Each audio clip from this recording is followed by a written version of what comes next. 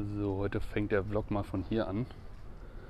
Hier sind die auch immer mal wieder am Zwischenlagern der Einzelteile. Kabel liegen da jetzt auch schon eine Weile.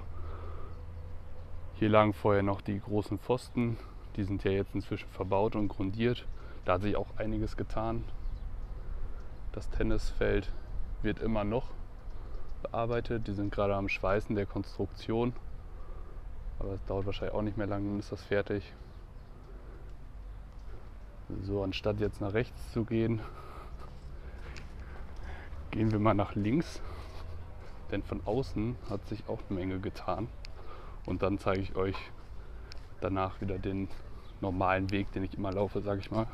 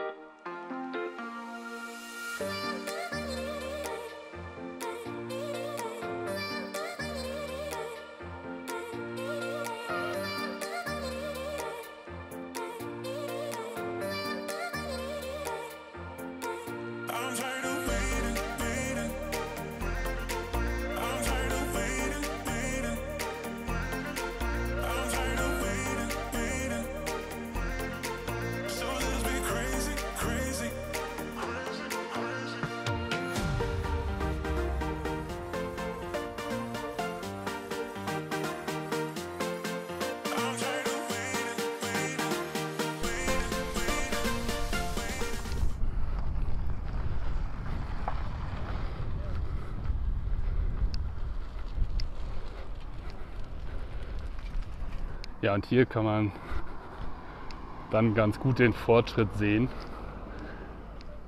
Die haben wahrscheinlich erst die andere Seite zu Ende gebaut und sind dann nach hier gewechselt.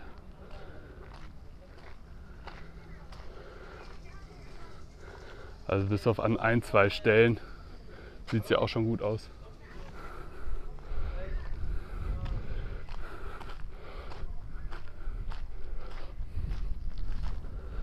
Also ein, zwei Stellen sind noch nicht verputzt, aber schon geklinkert, sage ich mal.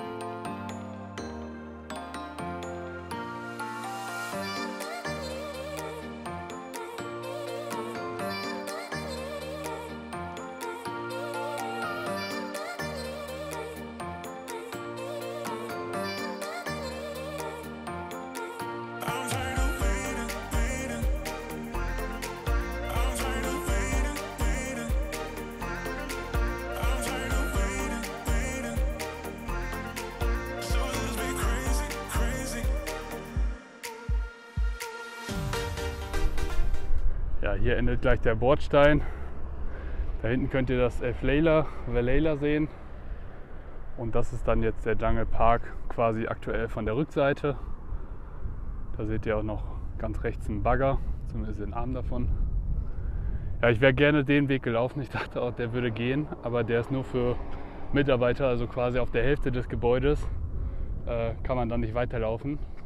Da steht dann Security und die lässt dann auch nicht drüber laufen. Klar, wegen Gefahr auf eine Baustelle und so verstehe ich. Dann bin ich einmal hinten an der Tankstelle entlang gelaufen. Also wenn ich jetzt gleich wieder im Hotel bin, kann ich erstmal ein Liter Wasser auf Ex trinken, egal ob mit oder ohne Kohlensäure.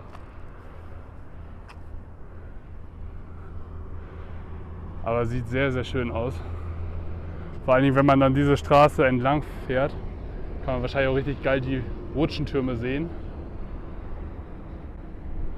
Und die Gebäude sehen auch ein bisschen unterschiedlich. Also es ist nicht so, dass man einmal ein Gebäude geplant hat und das quasi wie ein Schachbrett Muster einfach immer wieder reproduziert, sondern es sind schon unterschiedliche. Also das da jetzt in der Mitte des Bildes ist eher V-förmig. Dann gibt es andere, die sind ein bisschen länger gezogen. Die beiden, würde ich jetzt sagen, sind wahrscheinlich eins zu eins das gleiche, aber gespiegelt. Also gibt schon ein paar Unterschiede. Finde ich sehr, sehr schön. Ich jetzt erstmal zurück. Ich bin fertig. Brauche erstmal etwas zu trinken. Ich weiß nicht, ob ich schon erwähnt habe, aber wir haben aktuell so ja, 37 Grad Außentemperatur. Und ich bin jetzt hier eine halbe Stunde durch die pralle Sonne gelaufen. Mich wundert, ehrlich gesagt, dass mein Handy noch keine Meldung anzeigt von wegen Temperatur zu hoch, Überhitzungsgefahr oder irgendwie was. Weil ich gefühlt hier gerade sterbe.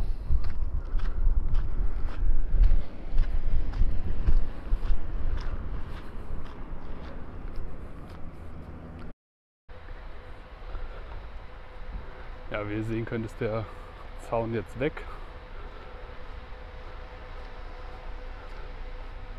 Das heißt, man kann an der Seite komplett jetzt reingucken. Ich hatte ja die letzten Mal immer so vermutet, dass das ein Pool wird. Aber jemand hat in die Kommentare geschrieben, dass das ein Springbrunnen werden soll. Und dann äh, habe ich mich mal informiert und ja, es wird ein Springbrunnen. Also es ist kein Pool. Ich glaube, hier können wir jetzt nicht mehr lang laufen. Also zumindest nicht, bis sie hier fertig sind.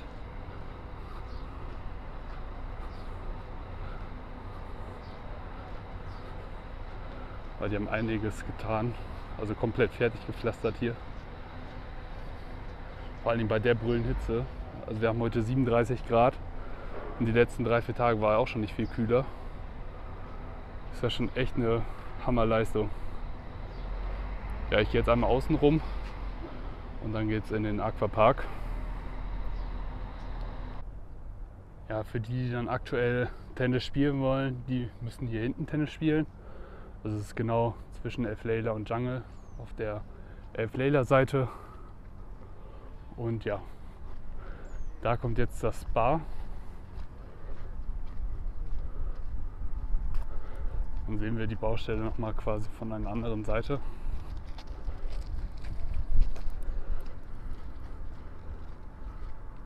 Ja, hier war vorher auch der Bauzaun, der ist jetzt auch weg.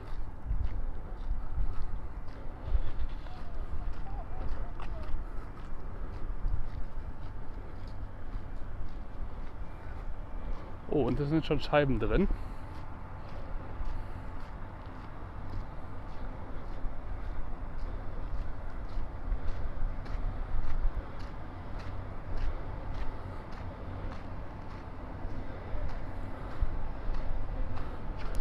Hier ist wie gesagt gepflastert.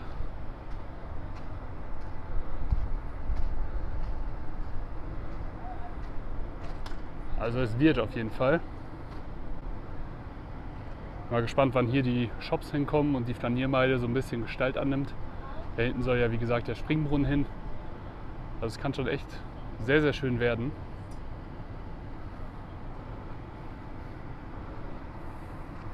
Ja, das Loch ist auch schon zugebuddelt. Da geht es dann zum Jungle.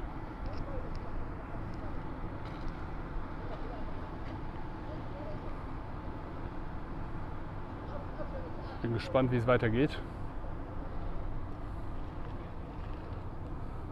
Ja, und da hinten haben die neuen Shops ja auch geöffnet. Hatte ich ja auch schon mal in einem Video gesagt.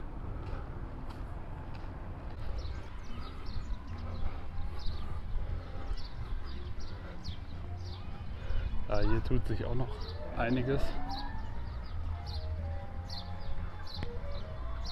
Also der Innenausbau ist auf jeden Fall weiter fortgeschritten als letztes Mal.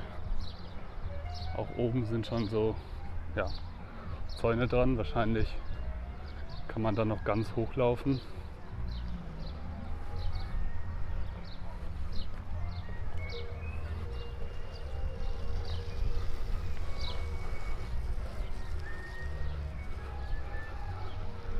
Aber so wie ich das sehe, sind noch keine Scheiben drin.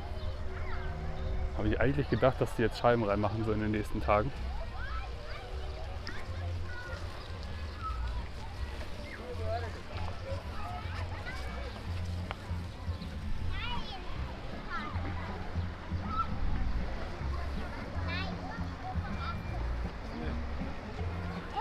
Nein. Also wenn man da durchschaut, sieht man auch, dass die fleißig am Bauen sind. Jetzt nochmal hoch auf die Rutschen und schauen wir das von da an. Ich bin so, so gespannt, wenn das fertig ist. Weil so viel Zeit haben die jetzt auch nicht mehr. 30.05. sind noch knapp sieben Wochen. Irgendwann müssen die Rutschen ja montiert werden. Ja, auch hier geht's voran.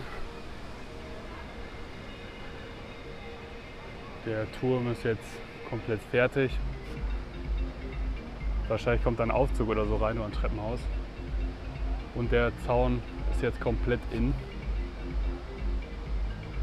Also die wollen wahrscheinlich die Liegefläche zügig wieder freigeben. Ich bin mir noch unschlüssig, vielleicht weiß das ja jemand von euch, ob hier oben drauf eine Terrasse kommt, wo man sich dann abends nett hinsetzen kann, was essen kann, mit Blick auf den Aquapark oder ob das einfach nur eine Umrandung ist, dass man vielleicht später die ja, Kühleinheiten nicht sieht von den Klimaanlagen. Vielleicht weiß es ja einer von euch.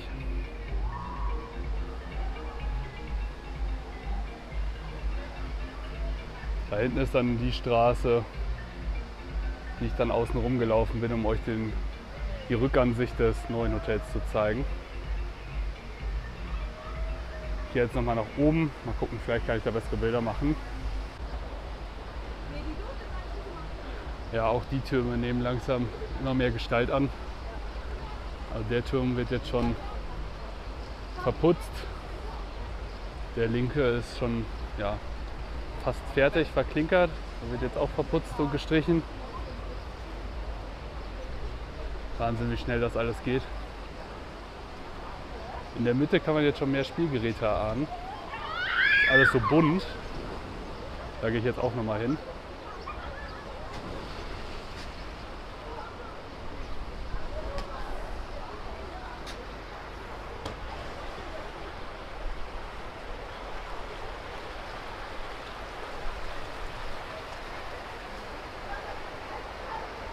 Schon krass was sie so in den paar Wochen oder zwei, drei Monaten geschaffen haben.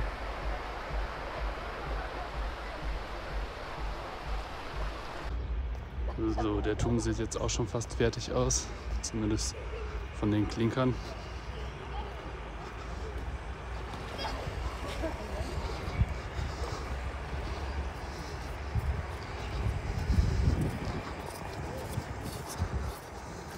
Aber solange wir hier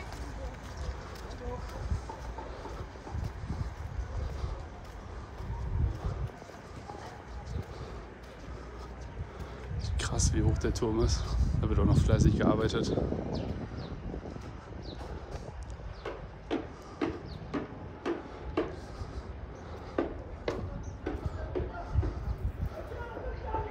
Der Turm ist da schon ein bisschen weiter. Oder die Türme.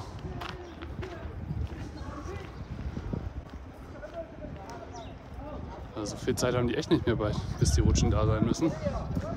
Die können ja den Park ja schlecht eröffnen ohne Rutschen. Also, ich werde ungeduldig. Mal gespannt, was das für bunte Applikationen sind, die, die man vom Turm aus sehen konnte. Ich hoffe, die sind auf dem Video drauf.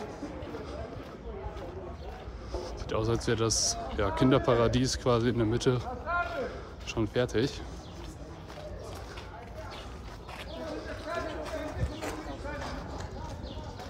Vielleicht kann man es von der Seite jetzt gleich ein bisschen sehen.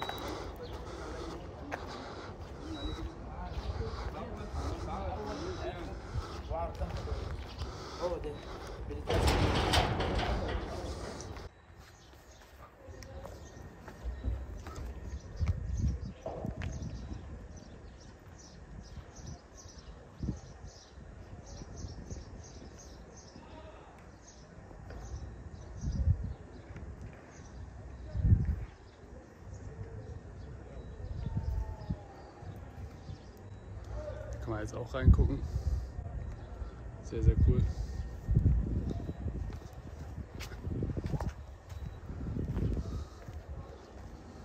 Ja, hier sind die Rutschenteile alle.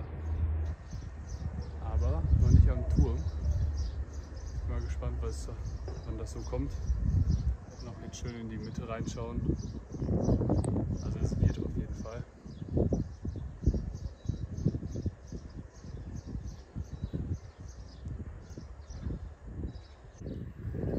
Hier kann man jetzt auch sehen, dass der Innenausbau schon anfängt. Also sprich, die arbeiten alles parallel. Schon echt der Wahnsinn.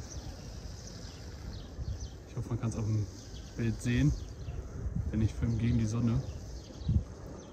Und ich sehe auf meinem Bildschirm leider gar nichts. Ja, da die Rutschenteile. Ich denke mal, dass es jetzt in den nächsten Tagen Wochen losgeht und dass die dann anfangen zu montieren. Ich habe jetzt nochmal außenrum zurück zu meinem Fehler und hole was zu trinken. Es ist wirklich unfassbar heiß.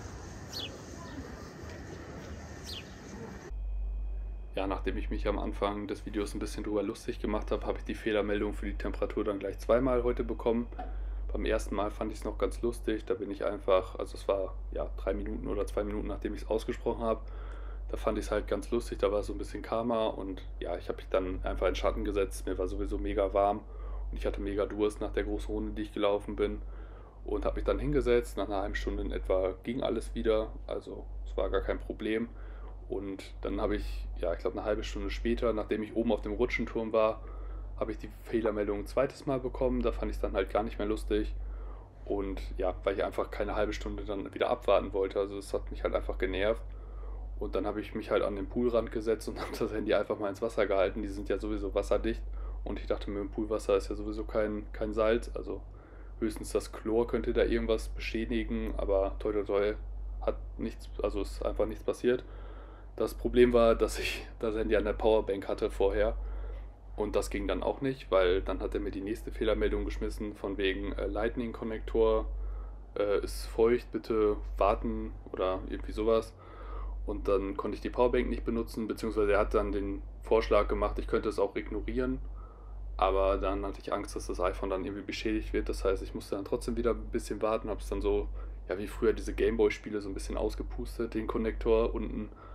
Und ja, dann ging es auch. Aber es ja, war auf jeden Fall die schnellere Option, als wieder eine halbe Stunde zu warten. Ich habe es wirklich nur zwei Minuten unter Wasser gehalten und das Handy war wieder funktionsfähig. Also es ist unter Wasser quasi der normale Bildschirm wieder angegangen und alles war cool. Also sollte das nochmal passieren, werde ich das in Zukunft häufiger machen. Ich hoffe dann, dass das Handy so viel geladen ist, dass das ja einfach ähm, keine Powerbank benötigt. Aber das ist natürlich kein Tipp an euch. Wie gesagt, keine Ahnung, ob da in Zukunft mal was passiert. Ich hoffe halt nicht. Aber ja, man weiß es ja auch nicht so richtig, sage ich einfach mal. Ja, das war auf jeden Fall mein Tag. Ich hoffe, ihr hattet auch einen schönen Tag und ja, das war's mit diesem Video.